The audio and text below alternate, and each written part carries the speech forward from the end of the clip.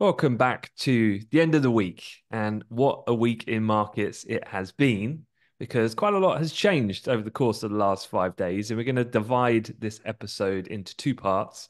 Going to talk first half about some macro updates. And what I mean by that is US GDP absolutely crushed forecasts just the other day. Inflation remained relatively controlled. People talking about Goldilocks again if you haven't listened to any previous episodes, I'm sure Piers will break down why he's a big fan of the Goldilocks tale here and why it boosts markets generally. And then we had the ECB kept rates on hold, pretty much as expected, reiterated forward guidance, but did not push back against market expectations for earlier rate cuts.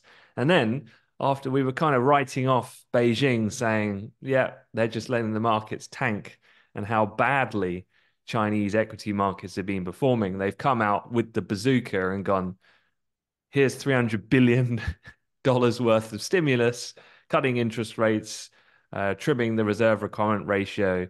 And so, in kind, the Hong Kong stock market, which we were very uh, much pessimistic about in its recent performance, has clocked its best day in more than two months on Wednesday after that action from the Chinese government. And then the second half, we're going to just break down two stock stories one good, Netflix, and one not so good, Tesla, who I think I had a look this morning.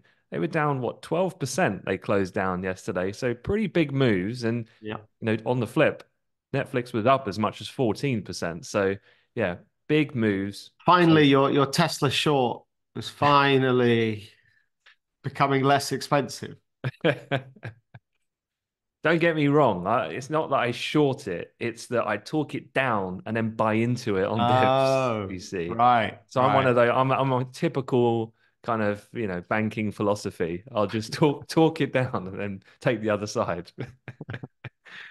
All right. Well, look, let let's kick it off then with the headline US advanced Q4 GDP and and just so everyone's on the same page. So with GDP readings, there's three readings the advanced reading is the first reading of the prior quarter. So it's always the most important one because at this point, all we have are kind of factored, like model generated estimates. Whereas going forward in the preliminary and the final readings, they're just purely statistical revisions to that first reading, which is the one we've had this week. So it's really important. Obviously, it's a key component for are we going to have a soft landing? What's that going to mean for the interest rate expectations? It came in at 3.3% versus expectations of 2%, which is a really big beat if you're not yeah. used to looking at these numbers. So, what what did you make of that when you saw that? Well, it, I mean, I mean, we know that the U.S. economy's been in this mode of you know, outperformance, right? Resilience.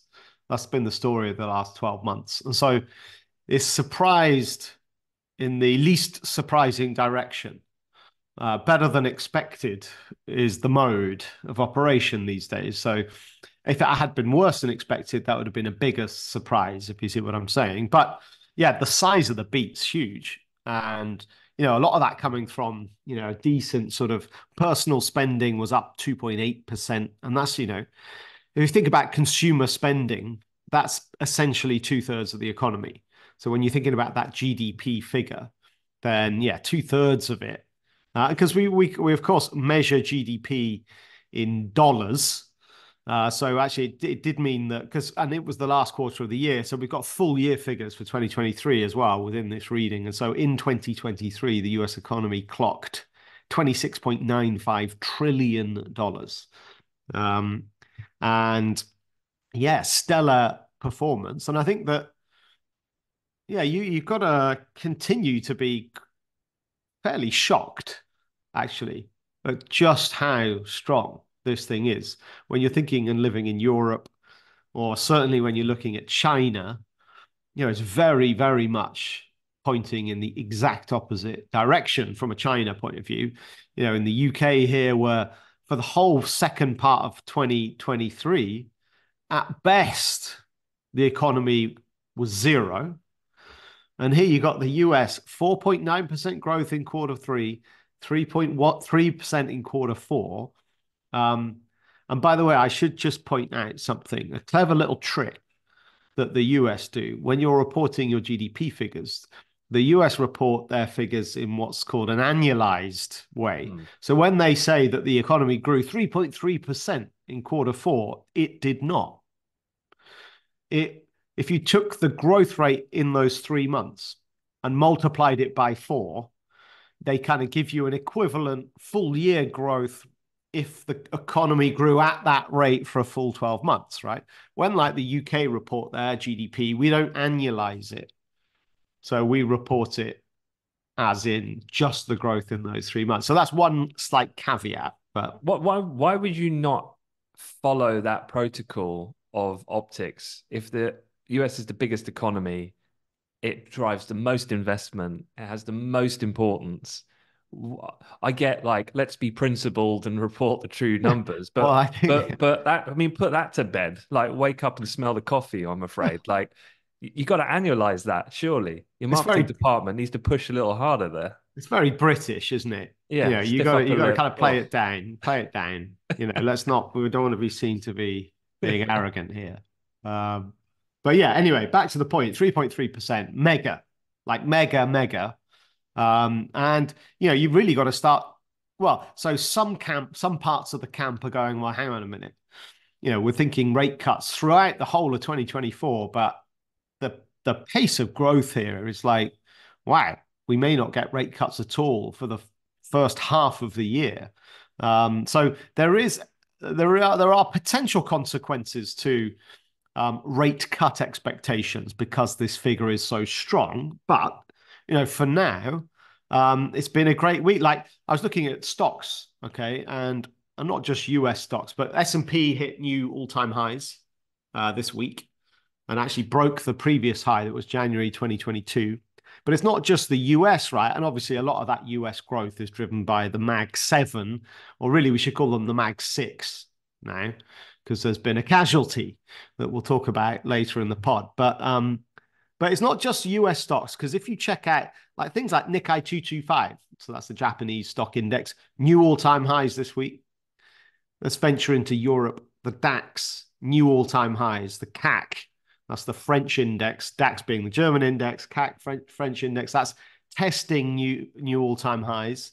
Um, so, and, and that maybe just makes the point that if the US is strong, then the world is in a good place.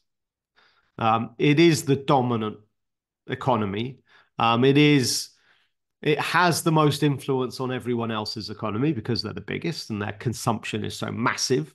Um, and so, yeah, if anything goes wrong in the US, the whole world's in trouble. But when it's on fire, then it's uh, it's propping up everyone else at the moment. Imagine if the US economy wasn't performing well. Well, I mean, you know, the UK economy would 100% be in recession right now. Mm. So, you know, the US is kind of doing everyone a favor, but the question is just how long can it last? How long can the decoupling here uh, continue?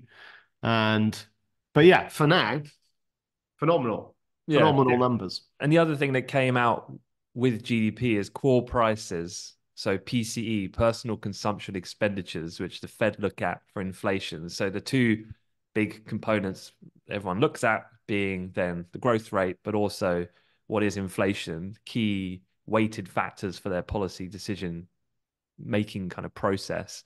Uh, and that figure, it rose to 2% for the period, while the headline rate was 1.7%, which both yeah. were relatively, I, I, guess you'd call it controlled or steady, which yeah. meaning that the economy is growing, but inflation is not going up. And so reinforcing this idea of soft landing, which is inflation is relatively tamed without triggering a recession with growth, i.e., Goldilocks scenario, positive, yeah. off we go. Absolutely. I mean, it is the it's it's literally the best of both worlds. Um, strong, resilient growth, dropping inflation. So the point there, and actually Yellen, who kind of backed up these figures um, Janet Yellen, Treasury Secretary, kind of came out trumpeting how amazing they are, and, and they are. Um, but one thing she did try and put to bed was this idea that, you know, oh my God, inflation is going to go back up. She wanted to kind of suppress that what is an incorrect sort of judgment, and that from exactly what you said, and and ultimately best of both worlds. You know, we could, and she made the point, or maybe it was someone else who made the point that we can still see the Fed cut rates even if the economy does stay strong, and that's because of this nominal interest rate thing, where ultimately the the real, or sorry, the real interest rate is, is actually looking at the actual central bank rate minus inflation. And so if you, you know, if inflation's dropping and you keep the central bank rate unchanged, the real interest rate's going up. So we're kind of getting pseudo rate hikes here. Hmm. And so there is justification for the central bank to cut rates to bring that real interest rate back down where really they're just saying we want to try and their policy shift could be we're moving to maintaining a steady real interest rate, which would would require rate cuts. So they can cut even if the economy carries on being, you know, seemingly on fire, but the rate cuts would be certainly more modest. They'd be more cautious about it. There would definitely be fewer cuts if the economy stays strong. Mm. Yeah, so I, I totally agree with your assessment about the US putting the world on its back at the moment. But there's obviously some other things that have played in a more positive fashion to support the, these moves that you mentioned across, so let's say the European indices. We had yeah. the ECB this week.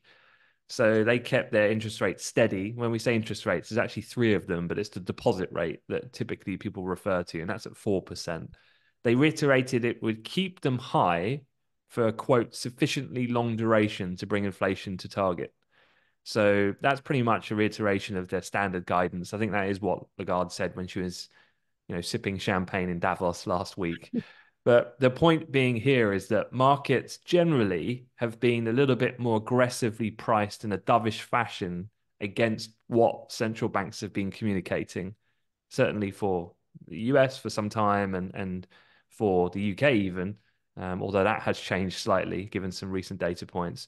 But same case in Europe. So generally, what you would have looked out for right in the past was okay, this is all as expected, and then you wait for her to speak in a press conference, and the market is much more dovishly priced than what she's saying, which is look.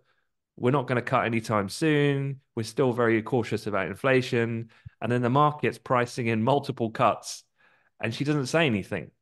So what does that trigger in your head from a trader's perspective if she doesn't push back against the misalignment of how and what you as market participants are thinking against what they're saying? What does that signal? Well, I think that with the ECB, it's a little more tricky. Lagarde's got to play. Uh, uh, I think her communication is more yeah yeah more fraught with with with risks and danger i think that they're historically very cautious so in her head i think she agrees with markets but what comes out of her mouth is different they don't want to lose credibility is one so they don't want to get it wrong they don't want to they don't want to promise the world right we're going to cut x number of times in 2024. But when the time comes to it, things have changed and actually, oh God, actually, we can't cut. Sorry, guys. So they don't want to kind of do that um, because. So that's number one. Number two, you've got lots of different players around that ECB table. Don't forget there's 19 different countries. And, and so economic conditions can vary pretty dramatically. So you may well have some of the the ECB, you know, council um, basically saying, look, we don't want cuts at this point. You're obviously going to get the opposite side of the table. So you, I think the conversation's more more tricky there. Um, but but mainly they don't want to they don't want to overpromise and underdeliver, and so they end up what comes out of her mouth is super cautious. So I don't believe it. Um, markets don't believe it. They they are more confident in their own assessment and understand the kind of games that Lagarde's got to play. That would be my opinion. Mm. So, the, so the bottom line being then, if she doesn't push back against how markets are priced, she agrees. So therefore, yeah. There's going to be sooner rate cuts than what they're implying through their official forecast, and therefore stocks go up. Right. Simple. So, yeah. The other, DAX, the other strategy, new highs, right? yeah, That's- the other strategy they could use, I guess, is to toe the line, as you said, keep credibility, and then just use source comments via Bloomberg to then align themselves with actually this is what we're actually thinking, even though we're saying that.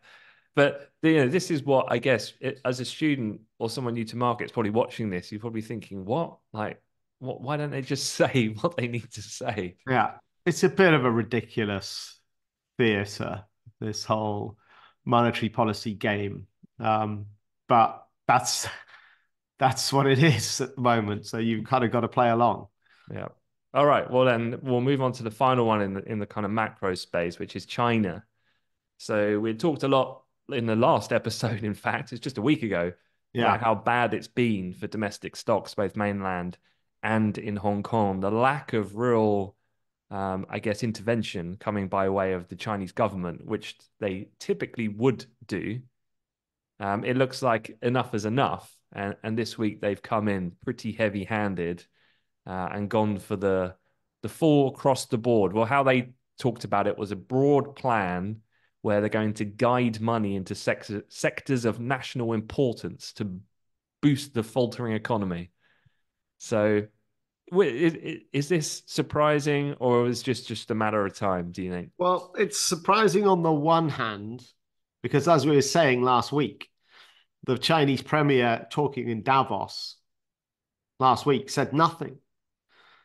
And we were that's where the kind of a bit more panic, I would say, set in. And Chinese stocks, I mean, they got hammered off the back of that and trading like down to we're talking about all these stock indexes at new breaking new highs, right? US, Japan, Germany, China's market, it's like a it's like down at lows not seen since 2020. It's plumbing a like four or five year low. And it's so that there is a huge, obviously, contrast there. So I think that we were so disappointed by the Davos speech that then, all right, they turned around and got the bat out and really, you know, delivered a pretty meaningful set of stimulative measures. So that it kind of came as a surprise because we'd got disappointed off that Davos speech. So yeah, there has been a knee-jerk snapback in in markets, but look, there's, still really, I would say, what's happened is so I'm looking at like the Shanghai Stock Exchange, and off the back of that disappointment in Davos, it dropped to 2,748. Okay, um, bearing in mind that middle last year is up above 3,400. So 2,700, let's just round it. 2,750 was the low last week. It's now up to 2,900. So huge snapback, but it's still down on the year. Um, so, and, and you wouldn't say from a, a kind of technical point of view, that rebound does not, has not broken any kind of downward trend lines here. So whilst that was an important and necessary step, um, they need stimulus um, for sure. Um, and actually, here's a measure. Well, I mean, why do I say that? There's there's a there's a strong evidence now that not only look, we we're obviously so worried about inflation in the West over the last few years, right, and all these rate hikes, and great, inflation's coming back under control now. In China, you never really had that inflation spike, and actually, what's happening now? They have a straight up deflation risk, um, and looking at, I mean, one of the stats off the back of these US GDP GDP figures. So the US economy in 2023, let's round it to 27 trillion dollars. Okay, now China's economy grew at a, a, you know much slower rate than was expected. Okay, and their economy was at 17.7 trillion. Now the gap between the two. And the gap has been shrinking and shrinking and shrinking, and everyone's been going like for for decade, couple of decades now the prediction has been China will become the biggest economy in the world. It's inevitable. It's only a matter of time, and people starting to try and pick dates in the future. And is it going to be 2030 and all this, right? Um, and and ultimately, what's happened in 2023, the gap between the two has got bigger again. So the US economy has powered forwards at the expense of China, and the gap is now at the largest since 2010.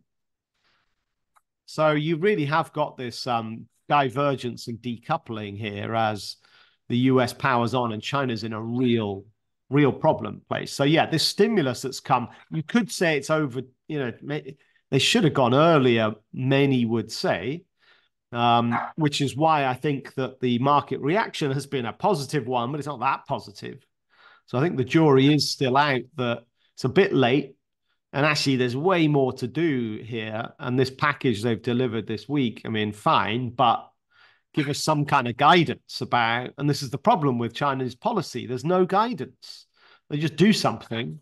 And then they don't really tell us, right, what's our roadmap for 2024? What's our policy going to be for the next 12 months? And then that's so it's hard. If there's no roadmap, no guidance, then you can only go. So, so this is how I'm talking from like when I was on the desk and you were trading. So you would always say to me, like, I don't know, what's the probability they're going to cut today? Because you'd get signals like economic deterioration would kind of signal that something's going to happen. They're going to cut rates. They're going to cut the reserve requirement ratio, stimulus package, whatever it might be. So without forward guidance, you can only, you can only look at back data, which is well, what is the routine pattern here? And actually looking back through all of the episodes, you could pretty much nail it down to like a time of day where generally they want biggest bang for their buck. So they don't make an announcement overnight in the Asia session. Normally, they would do it just as a crossover of mid morning UK as US are coming in, totally outside of their hours, so that they let the world know. So if you're looking at backward looking, then they do always, through necessity, take action. So it feels a little bit like if oil goes down far enough, OPEC will take action if the Swiss floor that they had in their currency, albeit they pulled it many years ago, but they would protect it. Isn't this just well? Yeah. It's almost like too big to fail. They've so committed to this policy now that they have to. Like it, it seems like there's limited risk to that kind of catastrophic deterioration of China short term. I agree, but it would be nice to for them to just let us know that is going to happen. But I know what you're saying. I mean, look, they're not going to. Obviously, the economic growth situation in China is absolutely key and pivotal, pivots, pivotal to Xi Jinping's whole strategy. You know, he cannot let the economy, mm. you know, go into a full blown recession.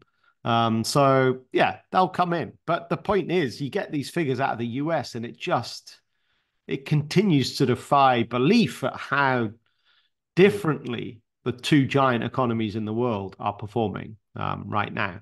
And actually, maybe a final point here a good measure of this is the Big Mac Index. Oh, yeah. Which is the um, I was just reading in the Economist this morning. So this is the Economists sort of it's one of their kind of measures of uh, kind of economic um, performance. And basically, they just take the price of a Big Mac in every country, and then using the exchange rate, right? What's the difference? And and really, it's trying to measure sort of purchasing power parity in a way. But right now, um, if you wanted a Big Mac in China, it's going to cost you 23 yuan. Okay. If you want one in the US, can you believe it's $5.69 now for a Big Mac? um, on average in the US. Okay. Now, if you said, right, those are the same, that's the same value. 23 yuan is the same value as $5.69 then, because that amount of money buys you the same thing. It's a Big Mac. So using those Big Mac prices, the exchange rate should be 4.04. The exchange rate is actually 7.2 if you look at money markets meaning the yuan is now 44% undervalued compared to the dollar on that basis. And that's that that's that's wildly out of line. And again, another measure that, well, hang on. A, the Chinese economy is really weak. B, the Chinese currency is majorly overvalued. This is perfect. Cue Donald Trump enter stage left to start doing some China bashing throughout the election campaign, telling them that you know they're manipulating currency markets to their own advantage. So listen out for some sound bite, sound bites from good old Donald on that front in the months ahead. Mm. Yeah, I, I, almost think um, as you're explaining all of this China part that um, I actually think that China might want Trump in power, irrespective of the economic consequence short term. If I think about it from a strategy perspective, from the government's handling for their own internal optics of the kind of the the perception you're trying to build of your country's narrative in the global order. Yeah. They've had a really bad COVID handling situation. Their economy is pretty weak. What you need is this uh, you need to frame the most villainous character who is going to put trade tariffs on you, make life difficult on you. So then you can pivot to that as an excuse. And at the same time, that can accelerate your relationships with the likes of India, Russia, the rest by further fragmentation of that kind of divide between traditional West and this new forming block of powers. So, yeah, I actually think that China wants Trump. Yeah. And therefore, if they want Trump, there's ways and means to ensure that that might well become a thing. Right. Through misinformation, sure all the other things. So yeah, I actually think that yeah, there's a little sideline here. Yeah. Despite all of the the kind of more definitive first order kind of reasons of why Trump might beat Biden. I think there's also a bigger thing at play here, which with all the conversations we've had of AI, this election is is optimal to again try to destabilize the West and use it to your advantage in the East. Yeah, but that, on a counter on that final point, Trump is not gonna. I mean, from a regulation point of view, he's anti-regulation, right? So from the AI race perspective, Trump getting into the White House is good news on the one hand for the US. They're not going to get blocked by regulation in this in this game. Um, so that might play in badly to China's hope that regulatory factors will delay the West, giving them an edge. But yeah, there's so many moving parts. It's, mm. it's, it's fascinating. All right. Well, look, let's go on to the stocks side of the conversation. So, where do you want to go? Do you want to talk positive or negative? I think let's end on a positive. Okay. It's always so, bad news first, right? And then, then you get the then yeah, clear the, the slate. so, as I said at the the top of the episode, Tesla finished Thursday's session down 12%. That was after they released their earnings report midweek. So they narrowly missed earnings estimates. They warned that its rate of expansion will be notably, quote, lower this year. Also, executives cautioned that they're approaching the limits of their efforts to cut costs in their current vehicle lineup. So, is there anything else that you saw within the Tesla report that you think you know, I, I'm always a bit remiss. 12% sounds like a lot for a company of that size. However, yeah. they are a unique case and they do swing around a lot. Um, and I saw a lot of people talking them down, saying they're the worst performing of the Mag 7 or whatever it might be. They were the third best performer, up 106% last year. I might remind those bearish minded people. But um, so yeah, I, I am yeah. I'm too long in the tooth to get carried away by a 12% downward move Tesla these days. But yeah, I mean their their stock is down 30% in the last one month. Mm. So look, that let's not avoid the point that that is shocking, right? Really, really bad and warranted. Because look, if you're a Tesla stock where you're, you know, your the multiples you're trading on are monstrously large, then anything that's not like smashing it out of the park means you're overvalued. So they definitely are not, they didn't smash it out of the park, right? All the numbers are kind of pointing towards deceleration in growth. And you can't you can't have a deceleration in growth story and maintain a super high um, valuation. So I think that, and one thing that was interesting that, that again, it's kind of spooked markets a bit. Musk loves nothing more than a super aggressively bullish forecast about how many units they're going to deliver in the year ahead. Okay. And he like I remember at the start of 2023, he said, We're going to do 2 million this year. You wait. You wait and see. We're going to put out 2 million vehicles. In the end, it was 1.8 million. All right. You might say, well, 90%, decent, but look, they missed by 200,000 units, right? That, that's a big miss. Now, the really interesting thing was Musk and Tesla did not give a forecast for their unit output in 2024 um, for the first time. Every year they're like, we're going to do this. And the market's going, wow, that's amazing, that growth. Wow, buy, buy, buy. So I think that tells an interesting story. Um, but I do think two two more things on that point. It's like the perfect storm at the moment for Tesla. Um, I think for a, for a number of reasons. So, firstly, if you think about price, right, we'll talk about margins. Um, so, one of the key uh, sort of measures for the automotive industry broadly is what's called gross margin. Um, it's such a, a capital intensive business building, you know, any manufacturing firm is. And so we look at gross margin as the kind of key metric to tell us about, right, the profitability and the health of this thing. So their gross margin, I'm going to take out their regulatory credits. We won't go down that rabbit hole at the moment, but they have the, because they're an EV uh, green company, they get regular. I'm going to ditch that for a sec. Their real gross margin is 17.2%. Okay. Which is kind of at industry you know that that's about it's decent, but um, it's not standout in the industry. They used to have a standout gross margin, but Musk took the decision um, probably 18 months ago now to say, right, we need to cut costs. Well, sorry, we need to cut prices here because A, we've got a cost of living crisis. And the reaction to um, the EV revolution has been that everyone's like, wow, these things are very expensive.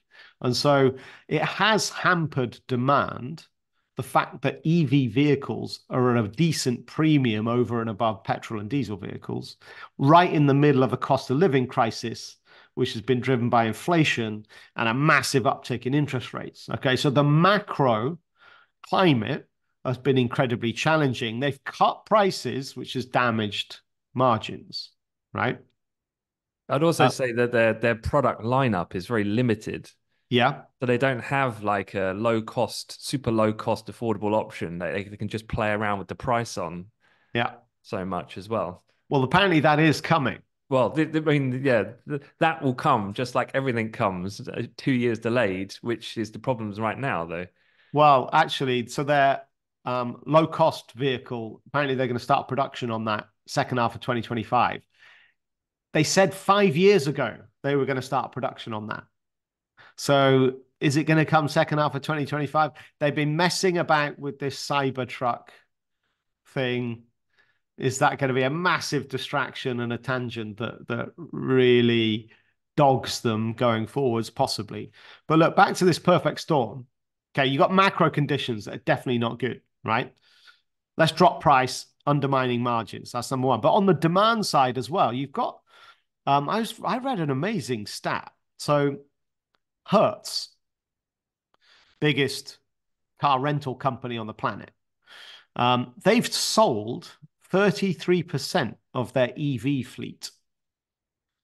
And they've bought petrol vehicles to replace them, which is the most remarkable stat in what is generally an overall story that the momentum of the shift to EV has actually quite dramatically dampened. I think this whole um, the whole the whole kind of green revolution has lost momentum in amongst this cost of living crisis. Mm. And that that that was like the standout. Wow, Hertz, they've literally gone and sold a third of their electric vehicles to replace them with petrol. So you have got this slight demand shift as well. And then obviously on top of that, competition.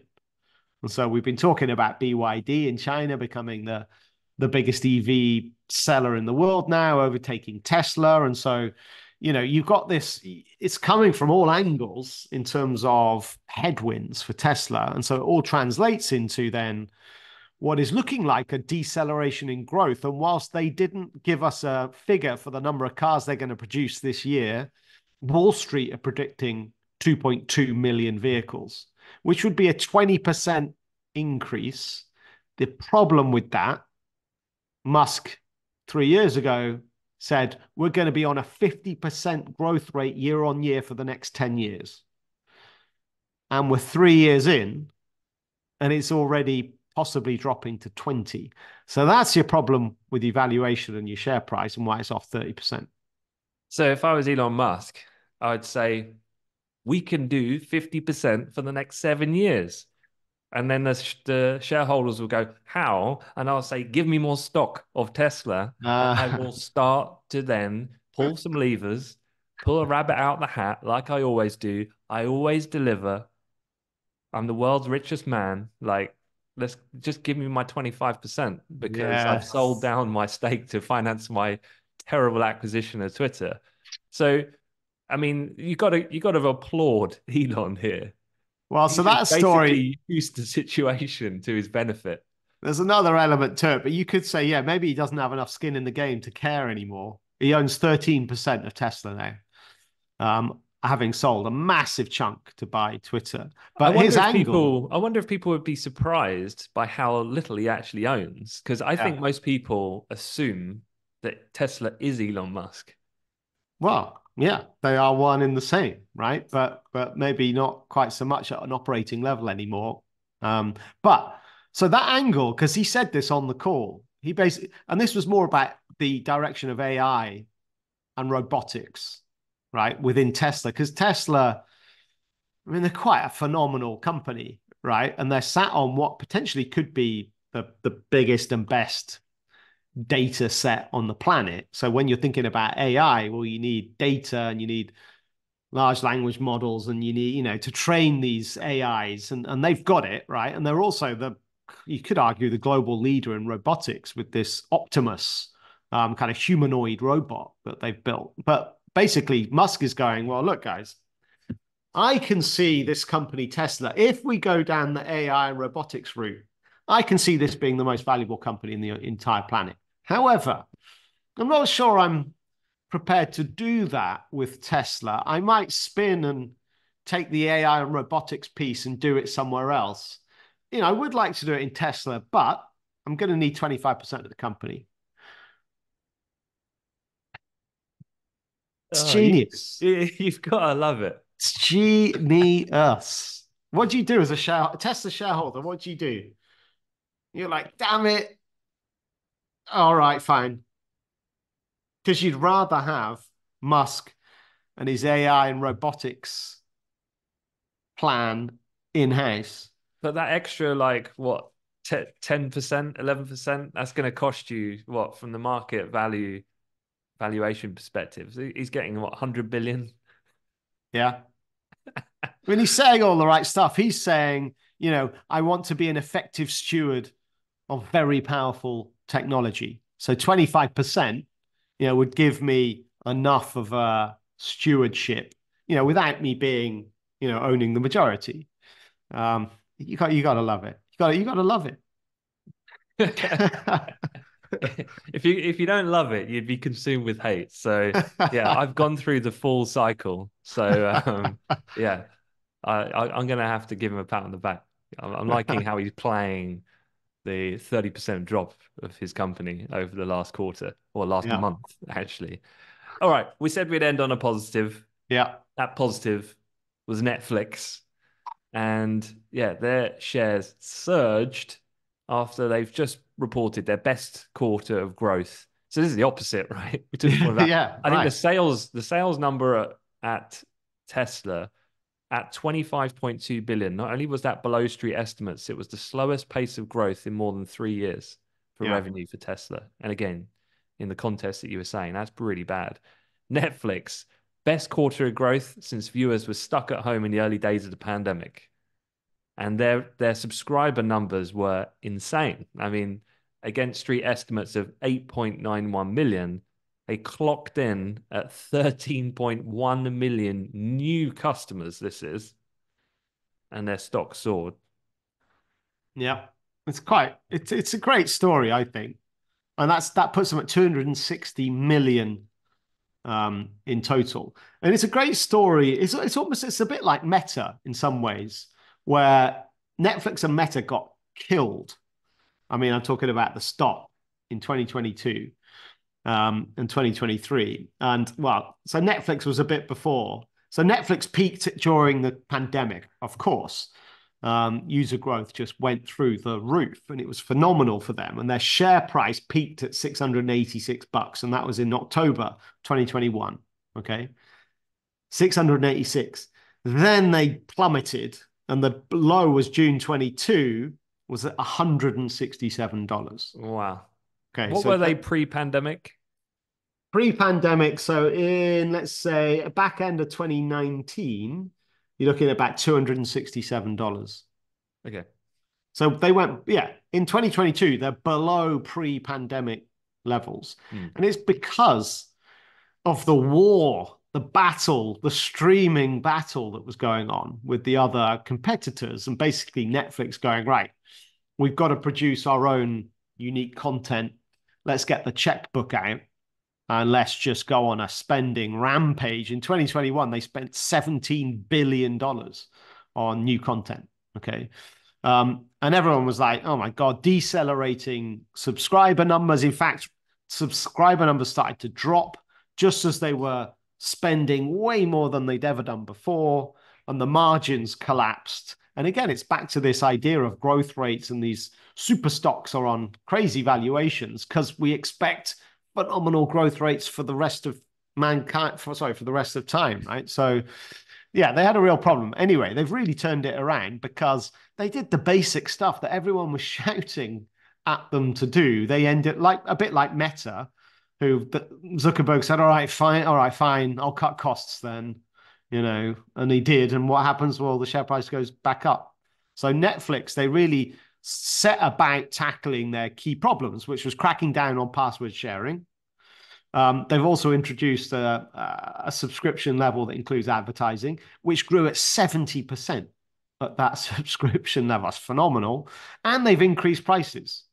All three of those are very positive for their top line without increasing costs. So it feeds through straight to their bottom line and their margin was up 20%, I think it was um, overall. So, um, yeah, so the yeah the operating margin.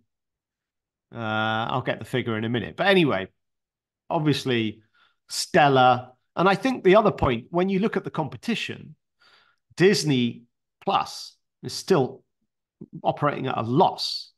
Okay, and Netflix are increasing their lead with regards to subscriber numbers and Disney now are having to cut costs and they're having to sell or license some of their content to Netflix.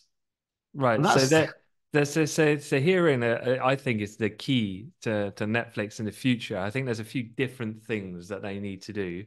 And I think that licensing thing is really interesting yeah. Their their stock does command a premium relative to rivals, that being I think they trade nearly 30 times their 12 month forward earnings. Walt Disney's like 20, something like that. So, what justifies that valuation? And what I was reading is that analysts were talking about the ongoing push to profitability at other streaming firms will force them to license more titles to Netflix, which may help then drive further. You're just basically then stealing their content. You you you almost you've almost doubled down and you're so aggressive in the new content creation they just cannot compete. And therefore you just crush them in a very ultra aggressive strategy. Um, so that was one thing. The other thing is managing the forward looking future of what can how can we capture more growth and continuous growth video games and live mm. programming yeah. That was the other thing. Video games we've spoken about maybe six, seven months ago. I'm going to talk about live programming. And I think that's the natural thing for me because I'm I'm a normal consumer. I have Sky TV and it sickens me how much it costs. because all I want to do is watch some NBA basketball and then they've just gone and got rid of it. And now I have to watch Premiership football and I'm sick of it. because oh, when you pay for Sky and it's like 80, 90 quid a month. And yeah. and 70% of that stickiness or the value of your subscription is Sky Sports because without yeah. Sky Sports, it's dramatically cheaper. Yeah. And then you're paying 10 quid for Netflix, for example. Yeah. So live programming. And the thing that came out this week alongside the earnings was Netflix has agreed to pay $5 billion to screen WWE's Raw, which is one of the flagship titles out of wrestling. Yeah. And it's their first big move into live events. And I think this, this is really interesting from a content strategy perspective, because one of the things that not only are you buying this community that's in the 100 million plus viewership, particularly North America, and at a time in the macro space where confidence is returning as well from a consumer based level, but porting the drama of the WWE characters into a documentary format. Some of the most successful original Netflix content has been taking sports yeah. and going behind the scenes and going into individual characters. And then just like you do with the Star Wars saga when you spin off the different characters into sub series that's exactly what they've tried to do with sports and sports personalities that you could now do with wrestling. And wrestling is full of larger than life characters that most people know. The main one is tied into this deal was Dwayne the Rock Johnson, who through I think the company I can't remember what they're called TKO I think he's managed to engineer some some skin in that game where he's ah. actually sold all of his The Rock rights, image rights, name rights, everything within like a 10 year deal, similar to the private wow. equity firm that did with Enrique. So right. his upside could be in the north of 50 million on the back of this. And in 2023, Dwayne Johnson only earned half a million. So wow. part of this, I think, and you know, his just him alone, his Instagram following, I think it's 400 million. He's yeah, like he's one of the top ones. But yeah, if you think about the Formula One Drive to Survive, yeah. there's the tennis one. Drive to Survive is consistently ranked in Netflix's top 10. It's one of the most binged worthy measured content pieces that they have. So I know wrestling is not for everyone, but I think it was quite a neat move to go into a fairly matured marketplace um, in live entertainment, which I think is, you know, there's one thing like Tesla talking about AI and robotics, and all okay, they have this robot that let's look, let's be frank, it's naff at this point. It could be something interesting in the future. Yeah. But you've got to deliver. But at the moment, how do you deliver on live programming? Well, live programming is not really so much as a, you've got to create it. You just need to own the right to be able to show it.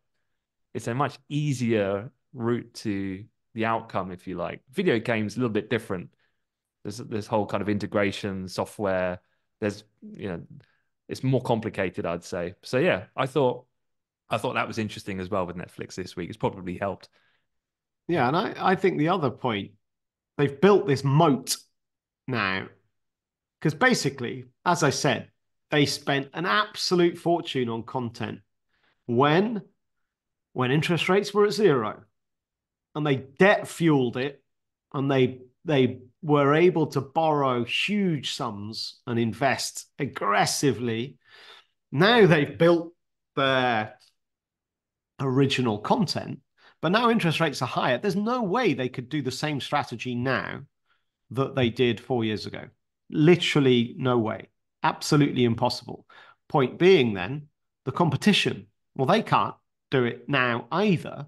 And so, from an interest rate point of view, yeah, they really took advantage. I'm not saying they were geniuses and knew that interest rates were going to go up and right quick let's borrow huge sums now i don't think that was the strategy it's, it's just worked out hugely in their favor and so they've become this this this dominant player with the kind of it's almost like the ladder's been kicked out underneath them now that debt costs a lot and so it's just hard for the hard to catch so to finish they were trading at I think you said like 230 pre-COVID. They dropped to what 170, 180. They rose to 680. What are they today? Uh 562 as of the close last night. So they're, they're almost double what they were pre-pandemic then at this point. Yes. And they're not far they they they've only traded at a higher share price um, during a three, four month period in their history if they traded at a higher price than this. And that was the back end of 2021 when we had the COVID bubble in some of these stocks. So it looks like they're marching back to test their highs. Their highs was at 689. So yeah, it looks like probably this year, this going on the evidence we've just seen in their earnings report, then there's a decent chance they'll look at retesting that COVID high. So yeah, another great turnaround story. I mean, it really is. Cool. Well, we'll wrap it up there. Thanks very much for your time, Piers. And uh, yeah, any questions at all, feel free to drop a comment wherever we share the episode. And yeah, we'll look forward to the next conversation next week. Have a great weekend, everyone. Yep. Have a good weekend. See you.